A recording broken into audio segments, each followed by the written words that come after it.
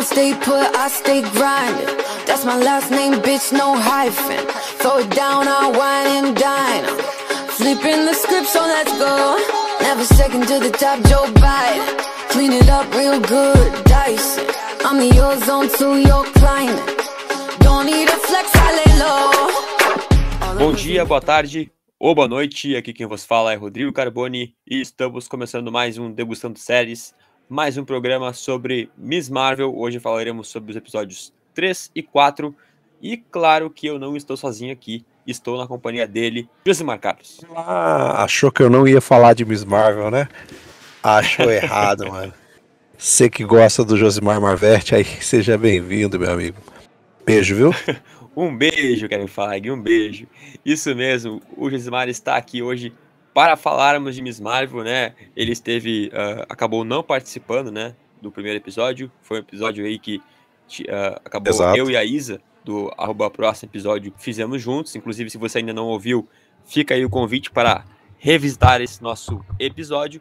Mas hoje, então, eu, Josimar, Josimar e eu falaremos de Miss Marvel. Bora? Bora.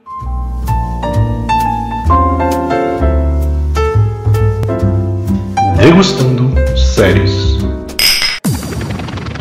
Então é isso, bora para o nosso primeiro bloco, aquele bloco que é sem spoilers, então fique tranquilo, ainda não traremos, é, falaremos de forma aberta sobre a série. E eu pergunto para o Josimar, que não estava aqui no nosso último podcast sobre, sobre Miss Marvel, é, já pode dar também a tua, a tua opinião, Josimar, o que, que tu achou desses, dos, dos primeiros quatro episódios, né? Os dois primeiros ali, que já, que já, fomos, já foi analisados por mim pela Isa, e agora desses, desses últimos dois, né, os episódios 13 e 4, que tratam bastante sobre essa origem do bracelete e a origem né, da, da, da- da família da Kamala, né? Do, do passado da Kamala. Exato. É, os dois primeiros episódios é, que foram que vocês falaram, eu, eu acho excepcional. assim. Os dois primeiros episódios eu acho muito bons. É, são episódios de preparação introdutórios, mas não aquela, aquele episódio de origem chato, sabe? Aquela coisa maçante. Ele vai te preparando aos poucos para você conhecer quem é Kamala. Eu acho que na verdade né, quando a gente for conversar o episódio 3 e o 4, eh, são quatro episódios aí, faltam dois para a minissérie acabar. E a série está se preocupando muito mais com isso. Ela se preocupa em mostrar para você quem é Kamala.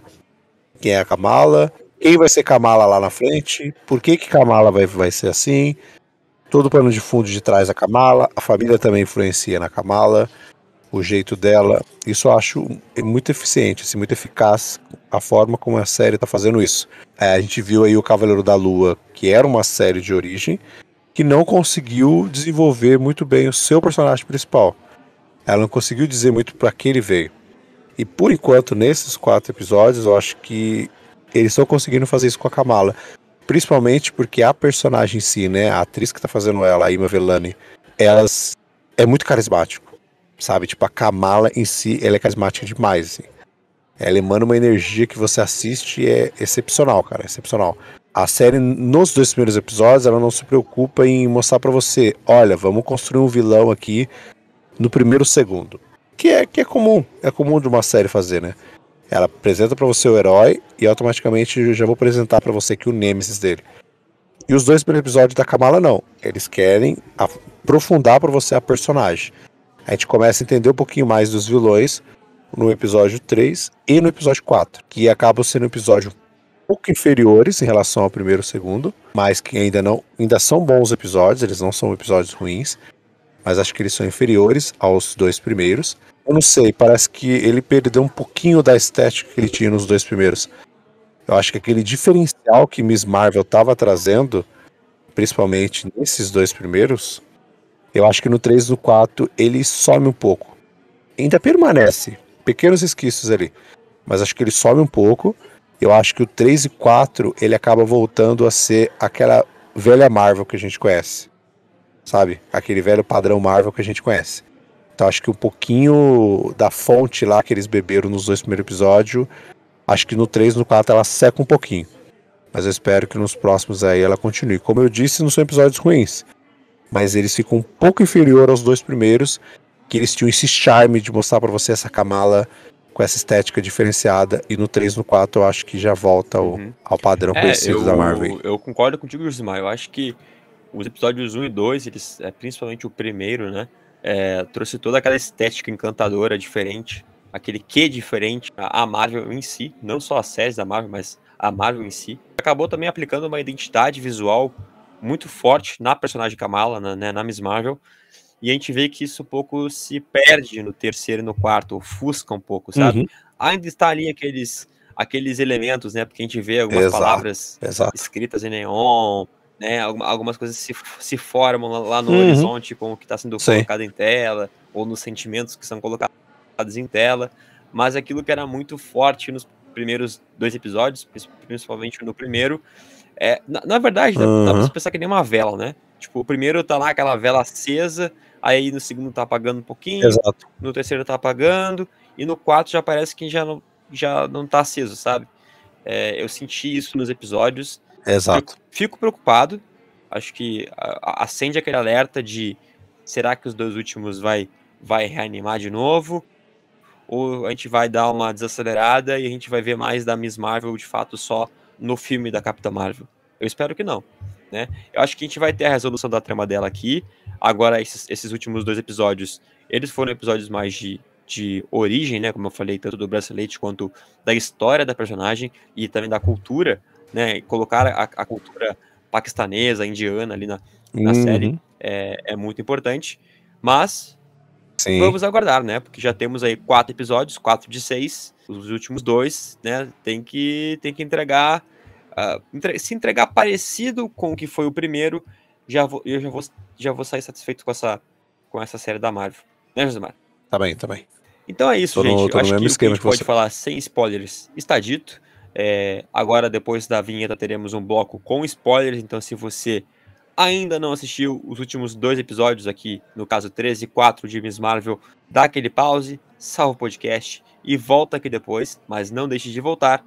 Mas se você não se importa com spoilers, ou se você já assistiu o episódio, fica aí que a conversa vai ser boa.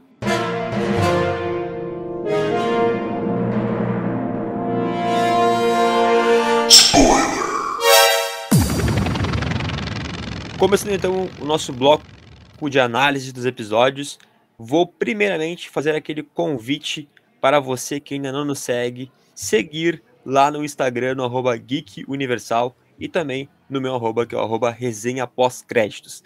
Tanto eu quanto o Josimar estamos lá nas páginas trazendo conteúdos da cultura pop, geek, nerd, tem muita coisa legal por lá. Então, de fato, o nosso multiverso aqui, o nosso podiverso, se expande para o Instagram, certo? Contamos lá com vocês lá, comentem lá o, o post desse podcast ou de outros também que tem por lá.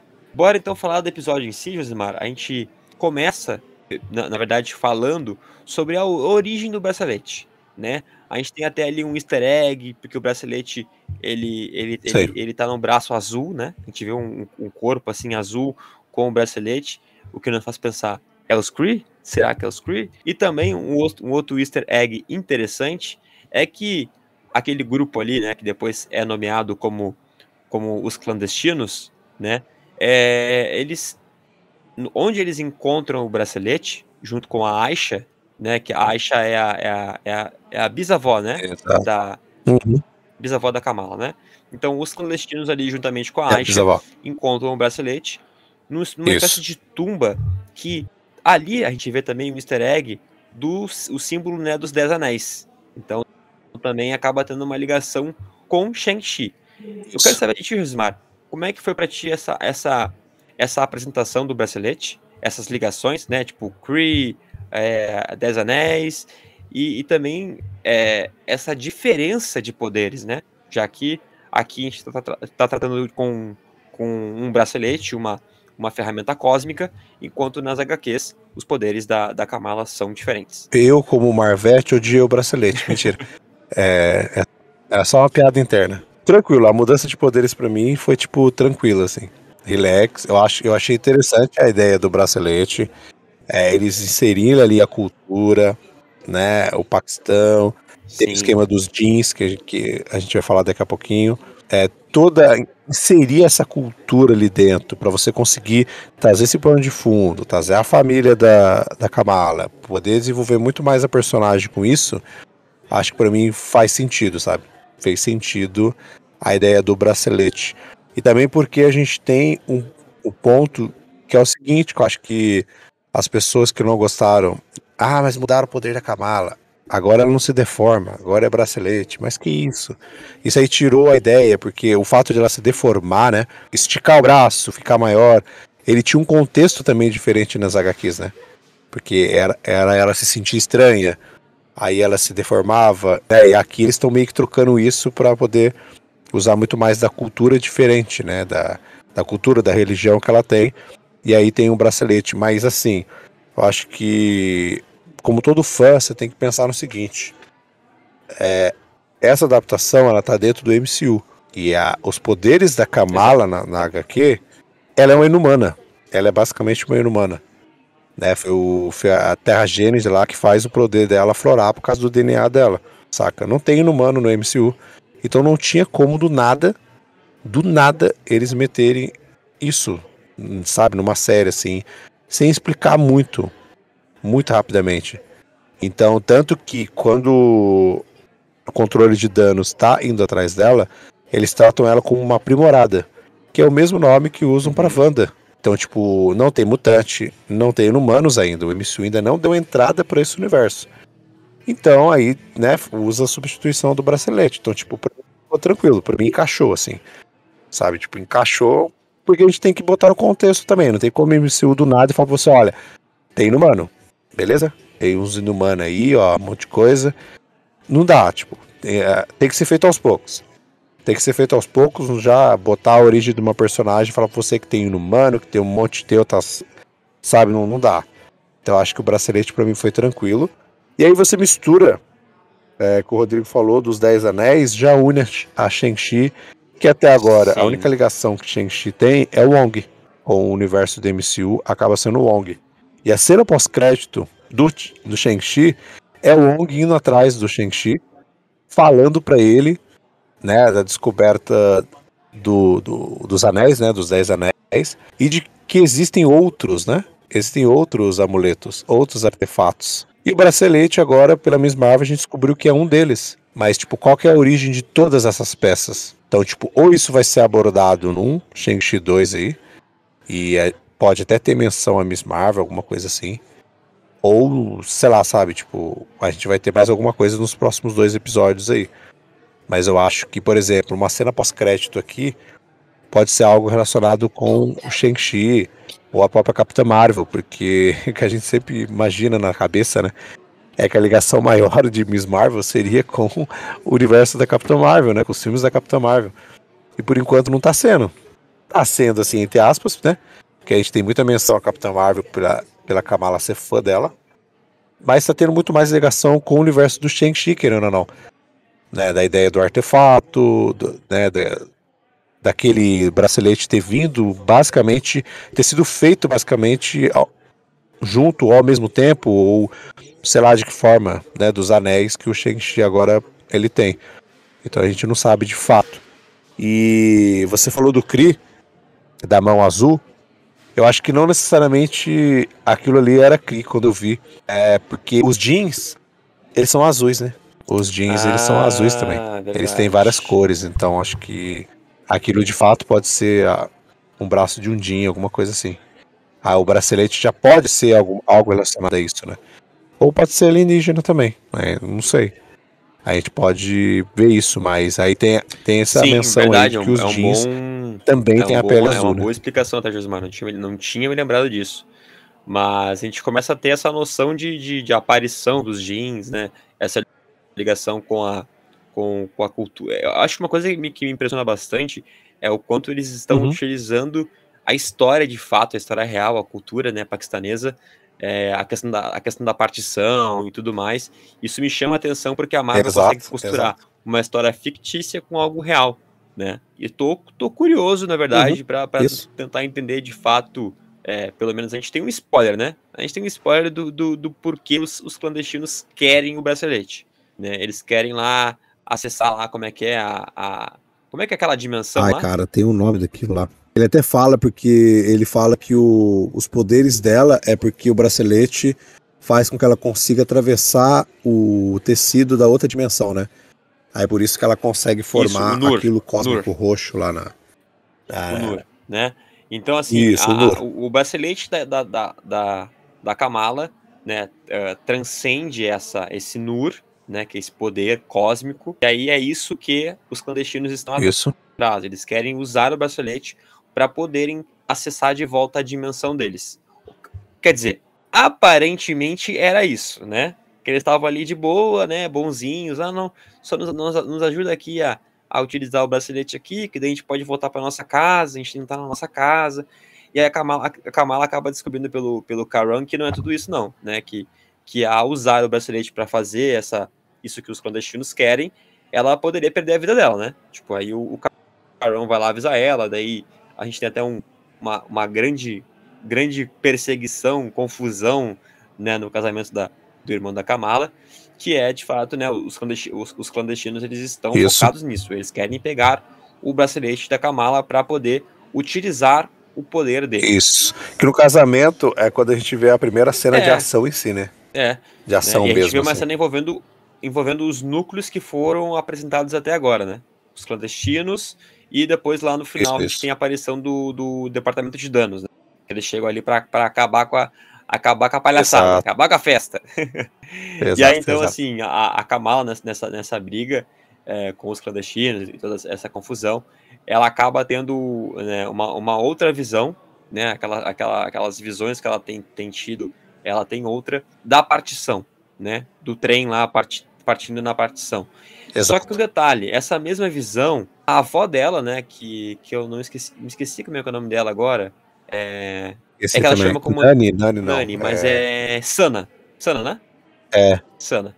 A avó Sana, dela isso. acaba falando Isso, pra, pra, pra, pra Kamala, que também teve essa visão, tipo assim, olha, tu também, tu também, é, Beta, né, que ele chama Beta, tu também teve, teve essa visão, tu também viu, viu o trem, então tu precisa vir pra, pra Karate pra, tipo, de fato entender o que tá acontecendo e conversar com a avó dela, que esconde aí talvez alguns mistérios sobre o passado, sabe? A avó dela sabe das coisas, sabe das coisas, mas tá quietinha no canto dela lá, né? E aí Exato. vamos para o quarto episódio. Daí no quarto episódio é totalmente focado lá no Paquistão, já é direto de, de Karate. A, a, a Kamala vai para lá com a mãe dela, né? Vai fazer essa viagem com a mãe dela e vão para lá para de fato conversar, né, com a, com a avó dela, com a Sana, para tentar entender um pouco mais da, né, da não só do bracelete, mas da família dela. Tipo, ela tem esse contexto histórico e, e tudo mais, é, não, é, não só sobre o, o poder em si, mas sobre a, a sua família. E aí, Josimar, eu te pergunto, como tu acha que foi trabalhada essa, essa relação?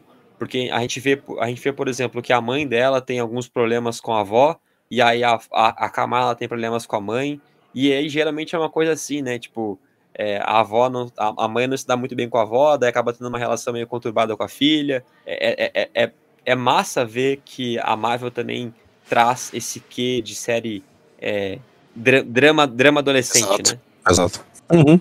Porque é o, Uhum. é o cerne da série, né? A série ela pega muito.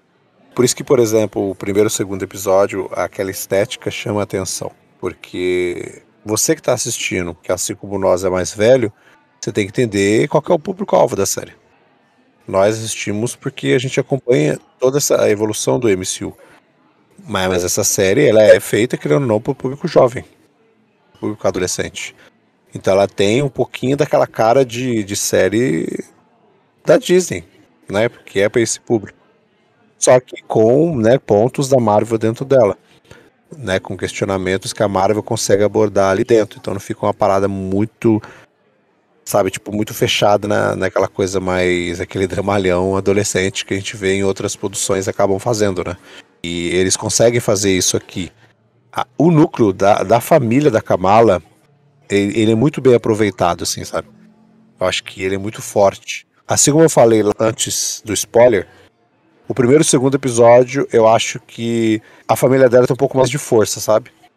Acho que eles são apresentados de uma forma diferente, como eles estão aqui no 3 e no 4. Eu acho que no 3 e no 4 é, é muito mais focado no, no ponto de drama, como você disse. No ponto de que tem coisas escondidas aqui e a gente não quer que você descubra, a gente não quer que você se fira, a gente não quer que a história se repita novamente na família, sabe? Então a gente vê essa mudança. Nos dois primeiros episódios, o, a família dela, o núcleo familiar dela era mais alegre, né? Ele tinha uma vibe diferente do que a gente vê no é 3 e no 4. É verdade. E até um ponto que eu esqueci de comentar aqui é que é que nesse episódio, né, depois dos, dos fatos que aconteceram lá no, lá no terceiro, né, no casamento, é, a Kamala tá tentando se desculpar para a Nakia, né? Já que ela, ela escondeu. É, ela escondeu Sim, que ela era a, a, a heroína, né? Que ela era, Uhum. como, é, como é que é o nome que deram pra, que deram pra Kamala? A Lu- Luz da Noite? Luz da Isso, Noite? isso. Luz da Noite? Isso. Luz da Noite. Então a Kamala nessa, nessa busca, né, por, por conhecer a sua história e entender um pouco mais do bracelete, né, e a ligação entre o bracelete e a, e a sua família, ela sai pro karate, né, tentando turistar um pouco ali com os primos dela, mas muito focada em ir na estação de trem, já que foi, né, a visão que ela teve é, durante a batalha, a batalha lá no casamento. Chegando na, na, nessa estação, ela é surpreendida por um dos membros da Adaga Vermelha, né? Da Legião da Adaga Vermelha, o grupo da, da Adaga Vermelha.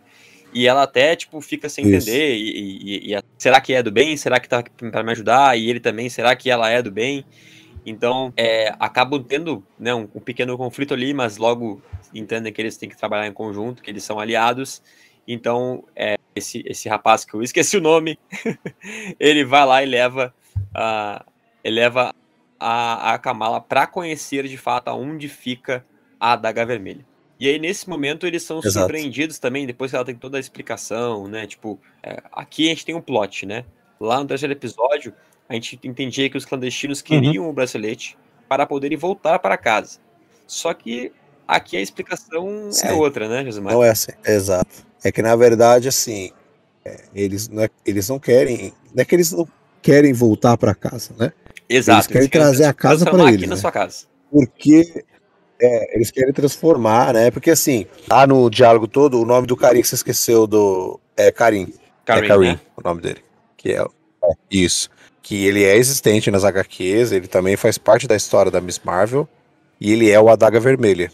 Só que aqui, na série, o Adaga Vermelha foi transformada num grupo, grupo de duas pessoas, um grupo e, consequentemente, quando acontece a parada lá que morre o cara, só fica o Karim. Então, né, daí automaticamente ele é o Adaga Vermelha, né? Que é o nome que ele usa como herói nas HQs de fato, quando ele luta do lado da, da Miss Marvel. E o- quando ele conta todo o plot, que daí a gente descobre mais sobre os jeans, né?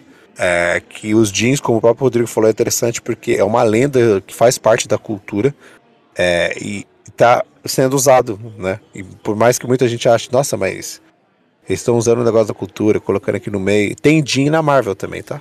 É, tem jeans na Marvel. Não é uma parada que foi inventada aqui na série porque estão aproveitando da cultura existente. Não, tem jean na Marvel também. Aí o jean é nada mais nada menos do que o gênio da, da lâmpada. É isso. Não tem outra tradução pra dar pra vocês. Mas E- é e basicamente isso. É um gênio mais e o plano maligno, deles né? é romper o véu, né? Romper o véu Nur, que divide as dimensões. E aí a Exato. dimensão Nur, ela simplesmente Uhum. acabaria destruindo a nossa dimensão por completo, né? Sim, sim. É porque não é um multiverso. Tá? O, onde ele, os, os jeans vivos não é um multiverso. O universo deles coexiste na mesma dimensão que a nossa.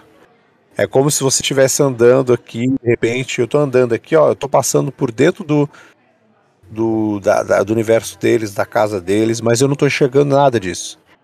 E eles do outro lado também não estão enxergando a gente. Então as duas dimensões, elas basicamente se coexistem. Existe o véu que faz é, né, essa separação entre elas. E eles querem usar o bracelete que consegue atravessar esse véu para fazer com que as dimensões se unam. Mas quando isso acontecer, a dimensão deles automaticamente vai tomar conta da nossa. Então, né, a nossa dimensão não vai passar mais a existir e a dimensão deles toma o nosso espaço. Que, inclusive, né, o, o Nur é, é o, acaba sendo o poder também que a Kamala usa, porque como ela tá com o bracelete, ela meio que consegue atravessar o véu. Então, né, ela, aquela, aquela coisa cósmica roxa que ela forma, né, é por causa disso. Porque automaticamente ela tá conseguindo atravessar o véu, então ela acaba juntando ali no corpo dela as coisas da outra dimensão. Exato, e é, e é assim, eles são surpreendidos ali enquanto o, o, o Arid faz, a, eu acho que é o Arid, se não me engano, o líder lá dos, do ADH, ele tá fazendo a explicação, né, de tudo isso pra Kamala, eles são surpreendidos e atacados pelos clandestinos, né, pela, pela Namja com os, com os clandestinos, né. Então a gente tem uma grande cena ali de perseguição, Exato. barra luta, né, eles ah, fugindo para eles não, não conseguirem colocar as mãos no bracelete, o, o Arid acaba, acaba morrendo, né? Ele, ele, os- ele é morto lá pelos clandestinos. Eles também, né? A Kamala e esse e o, e o Adaga, agora a Adaga Vermelha, conseguem ah, abater alguns dos, dos, dos, jin- dos clandestinos ali, dos jeans. Mas aí, no último momento do episódio, a Namja, ela crava a adaga no bracelete da Kamala. E a gente tem, tipo, meio que uma explosão de Nura, assim, né? A gente tem uma, uma quem sabe, uma, uma, uma, uma viagem ah, no tempo, talvez, não sei. Fica, Interdimensional, sei lá. é um bagulho É um muito bagulho, louco, assim, que eu também não entendi muito bem. Estou aqui pensando Sei. no que pode ser. E trago pra ti, Gismar. É claro que eu vou largar a bomba pra ti. É, porque, só, trazendo o contexto, a gente vê que a Kamala, ela, está no momento da partição, né? Tipo, lá com, com os trens é, lotados de gente, partindo, né? Tendo, é, prestes a partir, no caso da, da estação. Ela tá ali no meio de tudo aquilo ali e as pessoas veem ela, sabe? Ela, ela, tá, ela tá sendo é, palpável naquele universo, naquilo que tá acontecendo. Uhum, Então eu não exato. sei se ela está revisitando a história, se ela está. é, se ela viajou no, tempo, se ela é, tá numa outra dimensão, enfim. O que, que tu acha que aconteceu, Josimar? O que, que a gente pode esperar desse próximo episódio com base nesse final? Então, eu fiquei meio, eu fiquei meio assim quando eu vi, porque na hora que, que acontece, né? Aí, aí você vê ela, aí você fica, cara, ela viajou no tempo, mano. Ela tá na partição. Ela começa a andar, aí ele começa a encostar nas pessoas, né? Como você fala, umas pessoas esbarram nela, olha pra ela. Então ela está naquele local de fato. E eu fiquei me inda- indagando, assim, tipo, igual você. É, ela de fato, ela viajou por, por- no tempo. Ela só tá, tipo, presa na mente dela e ela tá revisitando aquilo porque ela vai, ela vai precisar ter que descobrir alguma coisa. Qual é da parada, entendeu? E- Ainda tá confuso pra mim. Ainda tá confuso porque através do que foi nos contado neste episódio 4, o bracelete ele tem a, a capacidade de atravessar o véu entre as dimensões. Mas será que isso dá poder a ele de fazer uma viagem no tempo? Ele consegue atravessar as dimensões, mas aquelas dimensões que estão ali, né? Viajar no tempo, né? Já é outra questão, né? Eu não sei se se ele tem essa capacidade, assim, eu não sei, eu fico- ficou meio confuso pra mim. Qual que foi o ponto, sabe? Mas eu não sei o que, que vai acontecer, é, se de fato ela viajou no tempo, se ela vai precisar ver que alguma coisa aconteceu ali na partição que vai fazer com que ela consiga resolver ali na, na frente. É, vai descobrir algum segredo do Dinho, vai descobrir algum próprio segredo da família dela, alguma coisa maior, né? Que pode ser. Ou, cara, não sei. Porque se for uma viagem no tempo, ela pode acabar modificando alguma coisa, saca? E a gente sabe, né, vindo de MCU, colocou viagem no tempo, pode ser algo muito delicado a se falar, né? Pode gerar alguma outra coisa ali na frente, pode mexer com alguma coisa. E eu não sei, realmente eu não sei. Eu tô. Eu fiquei muito confuso, assim, com É. esse verdadeiro poder do bracelete. Né? Porque, como eu falei, atravessar entre as dimensões é uma coisa, Sim. mas viajar É, não, eu também é fiquei com essa né? mesma sensação, assim, perdido mesmo, porque não sei o que pensar, não sei o que, o que, o que pode ter acontecido. Então vamos lá para a nossa parte é, de avaliação aqui desses dois episódios, né? Episódio 3 e episódio 4 de Miss Marvel. É, manda aí, manda aí, qual a tua nota para esses dois episódios, Marvel? Então, mestre, devido a tudo que a gente falou aqui, né, do que eu apontei aqui, das diferenças que o episódio 3 e 4 possuem para o primeiro e o segundo, né, da própria identidade dele, como eu disse, isso seja totalmente negativo. Mas o episódio 1 e 2 trouxe um quê diferencial para a série em si. Então, devido a tudo isso aí, o meu selo para os dois episódios é eu gostei, mas com ressalvas. É, eu também vou na mesma linha, tá, Josimar? É, gostei com ressalvas, acho que quase, quase indo para um mais ou menos, né? Mas ainda está na linha do gostei com ressalvas. Acho que a série, ela deu uma quebrada, né? Como a gente falou aqui, deu uma quebrada de ritmo, personalidade esses últimos dois episódios, diferente do que foi mostrado né, no, nos dois primeiros. Vamos ver, né? Vamos ver, vamos ver o que vem aí, né? Vamos aguardar por Bem, respostas no próximo episódio, tentar entender né, onde está Kamala, o que aconteceu com Kamala. Exato. Então, No final desse episódio eu fiquei igual Kamala, cara. Viaja.